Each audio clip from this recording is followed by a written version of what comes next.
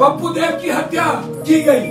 Heart attack नहीं। वो अपराधी थे क्या थे? नहीं मुझे नहीं मतलब आईवीटीवी देखता है इंडिया।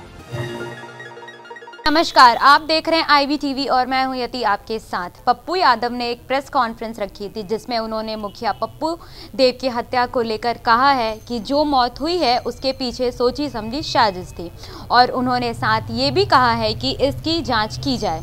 क्या कुछ कह रहे हैं पप्पू यादव? आप खुद सुनिए। पप्पू देव की हत्या की गई। हार्ट अटैक नहीं। वो अपराधी थे, क्या थे? नहीं, मुझे नहीं मत रात जब उसके घर पर हम पहुँचे तो उनकी पत्नी ने कही कि हम और हमारे हस्बैंड दोनों एमएलसी का चुनाव लड़ना चाहते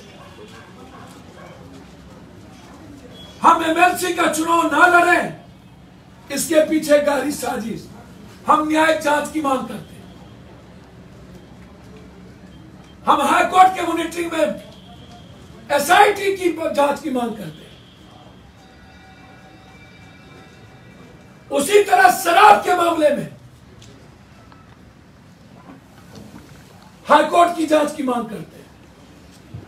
जकनपुरा मुखिया और गोरेलाल की मुखिया, इस दोनों की तीन महीने के अंदर हम एसपीडी ट्रायल चाहते हैं और दोनों परिवार को सुरक्षा।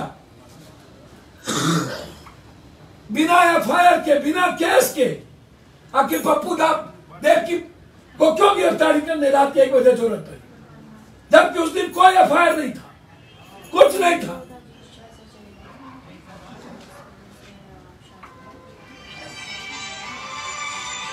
जब आप नेताओं को चोट कहने से आप कहते हैं अनपार्लियामेंट्रियन है। जब मैं बलात्कारी के बारे में कहता हूँ कि बलात्कारी को जीने का राइट नहीं है तो आप कहते हैं बॉल बिगड़ेल हो गई। तो क्या आप ये कानून इजाज़त दे दिया कि गिरफ्तारी के बाद आप बेरहमी से पूरा शरीर को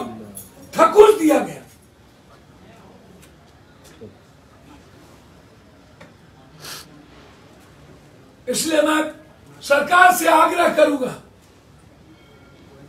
अपराधी और माफिया पे लगाम हो चुकी है। फ़िलहाल इस खबर में इतना ही। बने रहे हमारे साथ। धन्यवाद।